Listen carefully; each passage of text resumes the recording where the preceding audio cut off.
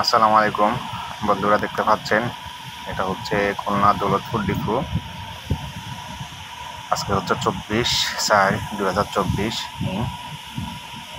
অতিরিক্ত তাপমাত্রার কারণে ডিপু পানি দিয়ে একটু তাপমাত্রা নিয়ন্ত্রণ আনা আনার চেষ্টা।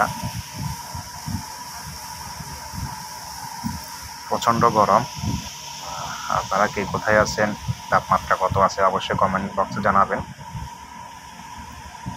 ডিপুতে পেট্রোল অকটেন তরল পদার্থ আছে, এই জন্য ডিপুটাকে তাপমাত্রা নিয়ন্ত্রণে রাখার চেষ্টায় আছে।